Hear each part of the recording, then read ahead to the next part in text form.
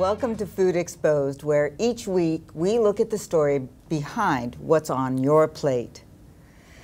I'm your host, Jackie Keller, and today we're talking about sports. You know, over the past 26 years, heading Los Angeles' leading healthy food company, NutriFit, I've had the privilege of working with professional athletes, both men and women, in all kinds of sports.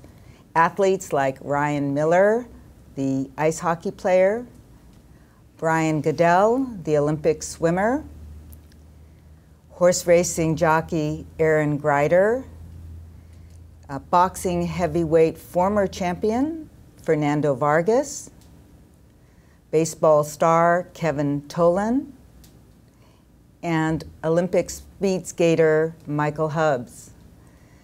Each of their needs has varied greatly, as their sports do. It's a complicated situation, and everybody's needs are slightly different. So today, I'd like to talk about some of the leading tips that sports nutritionists like Nancy Clark tell us uh, that are really the key to how to train effectively and fuel yourself for sports.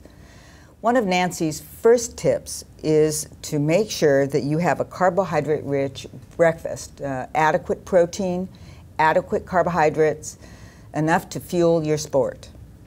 She also suggests that you keep your uh, post and uh, pre and post workout snacks wholesome and balanced. Athletes generally need more carbohydrate at each meal, but you also have to make sure you get enough rest and enough sleep, which is oftentimes a problem. Spread your calories throughout the day. Uh, make sure that all food groups are adequately represented in each of your meals. And drink water constantly. Hydration is a major issue with all of us, but particularly for professional athletes who lose so much water through evaporative sweat. Following these guidelines will help you get the most out of your workout and speed you towards your performance goal.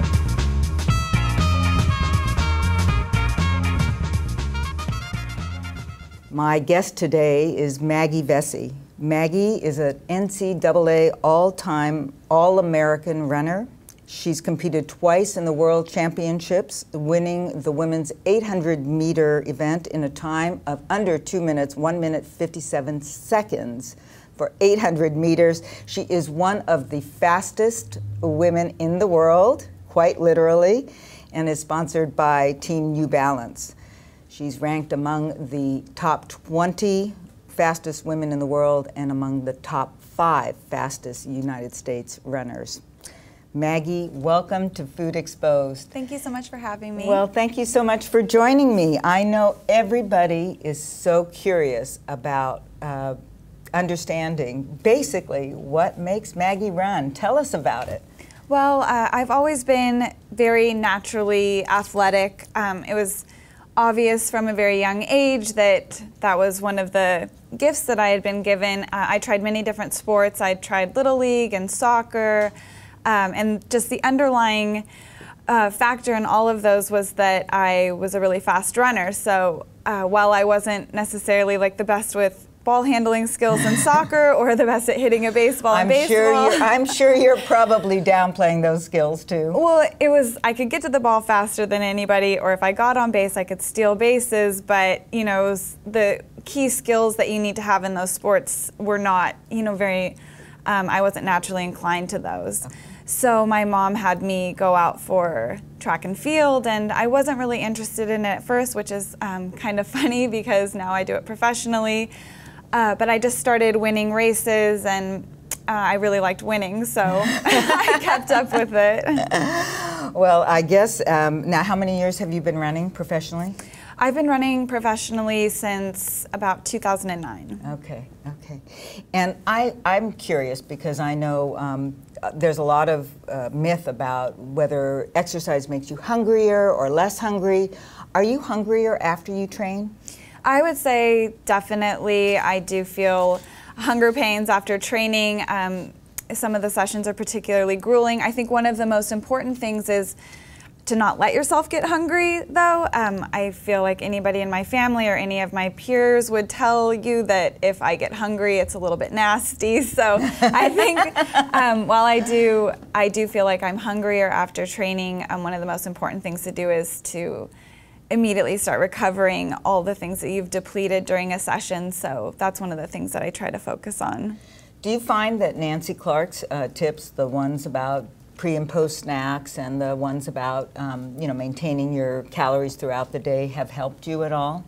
Definitely. Um, you know, before I work out, I would never go into a workout without putting something in my stomach first. I always have a a really hard time with the thought of your body eating itself, mm-hmm. like that idea of like inner cannibalism. Um, so I um, always try to have something with like a little bit of carb, a little bit of protein, um, and definitely I'm hydrating before I go into workout. I'm giving I, there's something with athletes that's important is timing. So I would never have something like that and then um, wait like five minutes and then go out because it might end up on the track again in a different form. so I just try to um, give myself maybe 45 minutes before I start training.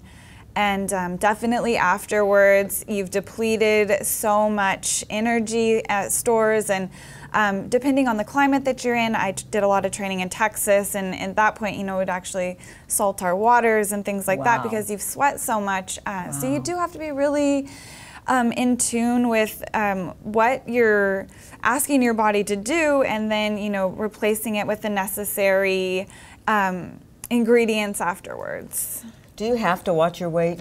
Do you have to be careful? Is it hard to maintain your weight even with all that energy expenditure? I think one of the uh, hardest things to face was it's not just all about exercising. I'm somebody that definitely would like to have it just all be about exercise and then I can eat whatever I want. But I definitely came to the realization that you actually can control your weight a lot more through diet than you can with exercise. If you had true. to choose That's between so one, true. you would probably and you don't want i mean you want your body to be very balanced and harmonious and you want to exercise and be mindful of your diet but if there if it came down to it and you had to make a choice in weight control i think it would be diet first. Okay. Um, so yeah, I definitely have to worry about that. But what about when you're not training? What do you like to eat when you're not training? Do you just go out and splurge? Do you have fun? Do you do you toss down a glass of wine or two? Right.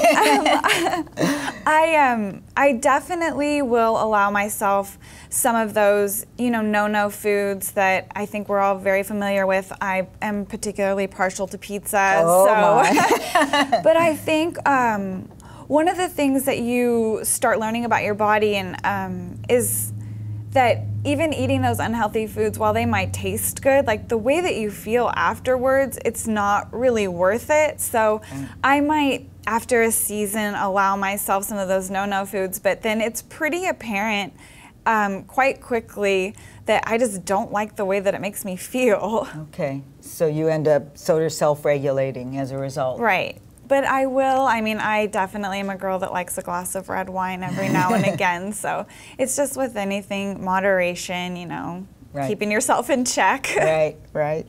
What what tips do you have for people? You know, you're a professional athlete. You've kind of won the battle, essentially. I mean, you're still out there winning every race, uh, but you've won the battle of, of trying to find that balance for yourself and trying to find harmony between exercise and, and eating.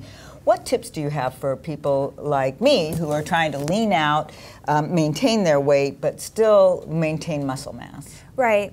Um, I think you kind of have to play a little part with science and then a little part with just how you are in your life. Um, I'm somebody who if you have this at your availability to be able to go do some blood testing and just kind of see where your body is at, see what's going on in there, and see if any needs are addressed. Because sometimes, if you are having trouble fighting a little bit of uh, a weight issue, it can be something that's going on with your body that's not letting you, it's not facilitating that. So I think knowing what's going on in your body first is really important. And then after that, you know, I just think striking a balance is very important. You know, you're not going to do anything that you don't like doing. You're not going to want it. For a while, you might be able to get away with eating things that you know you don't like and um, but it, you're seeing results in your body but if you're not liking the way that you're feeling i think that you're probably going to stop doing that so my advice would be just to um, listen to your body and definitely have a very vegetable rich diet uh, that's something that i've incorporated into mine and you definitely see just your body taking on like a healthier cycle and things um, and it definitely helps you lose weight as well. So um, but just being in tune with yourself and um, allowing yourself to be happy and healthy and i think that once you start seeing results and feeling better you're going to be naturally inclined to Great. keep up with it Yeah, success breeds success, right? Right. Well, I know that um, post recovery meals are extremely important in an athlete's diet and making sure that you refuel quickly. uh, After you've had a training session with the proper nutrition, so that, as you say, your body doesn't eat itself, you know, you're not cannibalizing all that lean muscle tissue that you're building, is extremely important. So, I thought today we might um, share one of I know was one of your favorite meals when you were with us as a client, the pasta with turkey meatballs. i do love that one All right, let's go make it. all right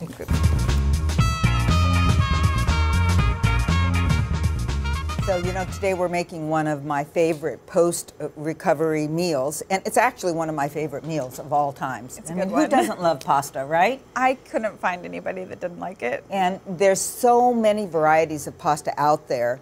So for those of you who are trying to follow a gluten-free diet right now or looking for alternatives to wheat, please know that this recipe is quick, it's easy, it can be made with virtually any type of pasta. But instead of going into the meat realm with respect to ba- ground beef, what we're using today is ground turkey because it's leaner meat, it has less cholesterol, less fat naturally although you have to watch the level of fat even in your ground turkey um, Right. because there are fattier ones than, than others. And what I really like best about it is that it's simple and quick. And I know um, from our work together Right. that getting food in quickly that is easy to digest, not heavy, not hard on the stomach, not hard on the body is really important, right? Very important. So I thought we would show people um, sort of the key ingredients of what's in this pasta with turkey meatballs dish. First of all, um, 100% whole wheat pasta. Again, you could use uh, rice pasta. You could use something made from corn. It doesn't have to be wheat. If you're looking for gluten-free pastas, there's shelves and shelves of them now that you can find. But today we're doing a whole wheat pasta. And we're using um, a homemade marinara sauce. Now, you can buy marinara sauces, there's dozens of them out on the market, but make sure if you're buying something that you haven't made yourself, that it's low in sodium, because although you mentioned uh, sodium being an issue for athletes because of your sweat loss, Right, depending on where you're training. Right, you still have to be mindful of not having too much, I would Right, guess. right. Because too much salt, you hold in The your water, water. retention. And that must be hard on an athlete, not to be able to sweat and pour it off. Right, it's all such a delicate balance. So It is. Well, I've made the meatballs ahead of time, and um, Tasty. you can make these ahead of time just like I did and freeze them beautifully so that if, for example, you had a mind to have barbecued meatballs instead of uh, marinara meatballs, you could do that. Or you could have meatballs with um, any kind of sauce that you had a fancy for sweet and sour, barbecue. There's all kinds of ways you can do that. But let's heat up this pasta with turkey meatball dish. A little bit of extra virgin olive oil into the skillet. And then we'll put in our meatballs and let them get brown. Now, step back because we don't want to. Here we go. And again, the beauty of having pre-made the meatballs is that if you get back from a run or a training session Right. and you really just want to get some protein and good quality carbs into your system, and I think the rule is within about two half an hours, hour, half I would an hour. say. Right. Yeah, so you want to have the stuff ready to go. You really do. And then um, add some of your sauce. In this case, we're doing this marinara, which is just a lovely Yum. low sodium marinara. And um, I even pre cook my pasta. I like to do this ahead of time because when I get home, I'm not training like you. Right. But I don't want to wait for the water to boil. I mean, isn't that the most frustrating Right. thing? Then you find yourself eating in between when you're going to eat just to stave off some hunger. So that's really smart. So if we pre-cook the pasta and then wash it really well, the starch on the outside of the pasta is washed off, and the pasta can sit in a food-safe container in your refrigerator for a day or two. Right. Do you ever snack on uh, pasta at all? I don't usually. I have tried to do vegetables and fruit, but Good girl. I. if it was around handy, I probably would eat some of it. Yeah. and then um, we're just going to heat this up. And literally, that's all it takes. I mean, if you have some fresh basil to put in there, that would be great, um, and uh, add a little bit of more flavor to it. These meatballs were made with one of my salt and sugar-free spices, uh, one of the blends that I've designed that um, help make food taste tasty without adding salt, without adding sugar, without adding any fillers, and um, it does give a lot of flavor. And just like that, now, um, obviously, what's missing here? The Garlic? vegetable. I cook with so much garlic. You know, garlic is great for you too. It really is. I kind of overdo it though. You can't overdo garlic. and so- what happens when you overdo Yeah, a little bit of a funky tummy, but Right? Yeah. but I really like it. you know what cures that funky tummy? What? Please tell me. Something else that would make this dish green, which I don't have here today, but I would add a lot of parsley to your Oh, I have a lot very garlicky things. okay. because parsley is not only great for your breath, which is a natural breath Oh, good, freshener, that'll which is always good to breath. know. Yeah, it will, really, truly. I mean, after a heavy garlic meal, just eat a plate of parsley. Okay. But the other reason is that it is a good digestive aid. Oh, perfect. So you could easily kind of kill two birds with one stone, take care of the garlic breath, take care of the funky tummy, Right. and still have your garlic and enjoy it too. So, um, But you are going to add a that quickly. vegetable in there. Yeah, you would want to add a vegetable in here. You'd want to have some broccoli, maybe, or um, what are some of your favorites, Maggie? Um, some of my favorite vegetables, I always do bell peppers, a ton of bell peppers. I really like asparagus. I really like broccoli. Broccoli, I think, would probably go best with this, though. Yeah, definitely. And the bell peppers too. Right. You know, a lot of Italian dishes I'd have probably throw some bell peppers. cayenne flakes in there too. I like a little spicy. Yeah, hot and spicy. I know. She's fast, hot, and spicy. Okay, guys, that's it. All right. So, are you ready to taste? Do you remember? Yes, I All am right, so ready. When was the last time you trained? I trained this, morning. Mm-hmm. All right, I knew This that. morning, I right. I knew that answer. I knew- And you probably had already a little post-recovery meal. Of course I did. Good girl, good girl. Well, there you go, Maggie. Thank you so much. All right. All right, so Let's just get some meatballs. just a little meatball and a little bit of tiny pasta. bit of pasta. I know you're careful. How hot is this going to be?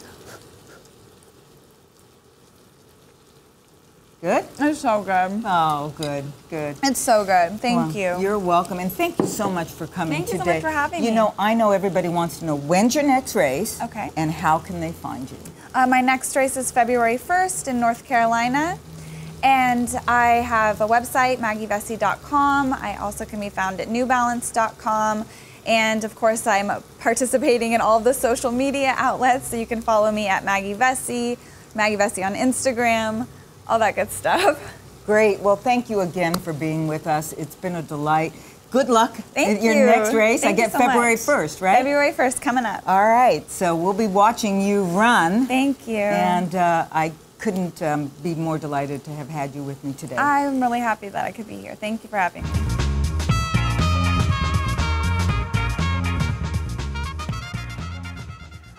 I have a little story to share with you um, here to conclude our show today, and it's uh, an old parable which I still find very relevant, and I think you will too. It goes something like this One evening, an old Cherokee uh, was speaking to his grandson about the battle that goes on inside of people. He talked about an evil wolf and a good wolf. They both live inside us. The evil wolf is filled with anger, filled with envy, fear, filled with jealousy, filled with sorrow, filled with resentment, with lies, with false pride, with superiority and ego.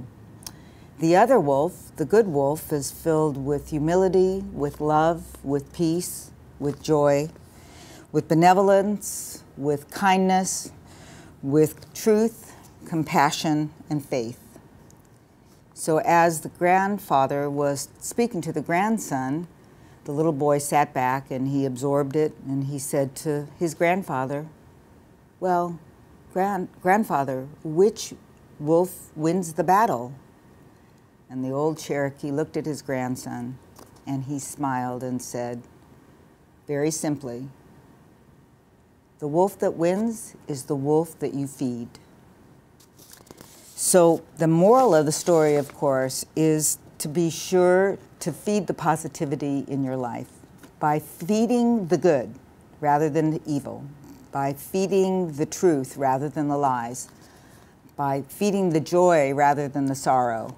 You unleash the possibilities for positivity in your life and allow more of that to happen. If you don't feed the evil, it doesn't flourish within you. Thanks for coming today. Thanks for joining me on Food Exposed. I hope you'll share this with your friends, with your families, with your associates, and I hope you'll follow me on jackiekeller.com. Tune in next week to empowerme.tv and uh, join me for Food Exposed. For more Food Exposed, check me out on empowerme.tv. And until next week, remember, Make food your best friend and exercise your companion for life.